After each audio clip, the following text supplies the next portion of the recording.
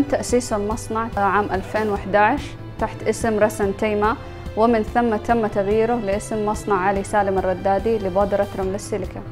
رؤيتنا في السنوات القادمة خدمة أكبر عدد من الصناعات وإنشاء مركز أبحاث متطور لخدمة العملاء بشكل أفضل.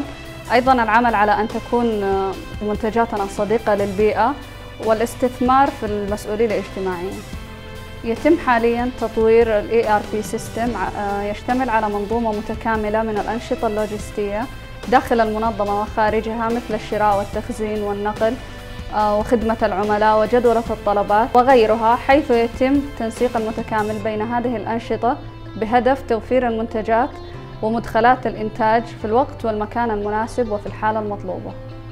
حالما نبدأ بالتوسعة الجديدة المتوقع إنجازها في الفترة القادمة سنبدأ بخطة التصدير للخارج للمساهمة في دعم الصادرات السعودية بشكل إيجابي ودعم النمو الاقتصادي للمملكة.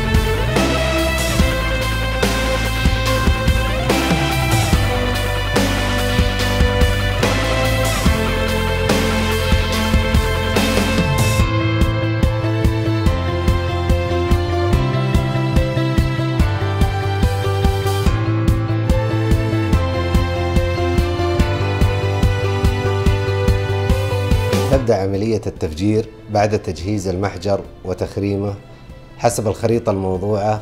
بعدها يتم نقل الرمل الخام يذهب لمرحلة الفصل ومن ثم الغسل لإزالة الشوائب ويتم بعدها تجفيفه بنسبة 95% ويتم أخذ المنتج بعد الغسل والتجفيف للطاحونة. حسب المواصفات المطلوبة يستوعب مصنع الردادي للسيليكا طاقة إنتاجية من 5000 طن إلى 10000 طن يوميا لجميع الأحجام.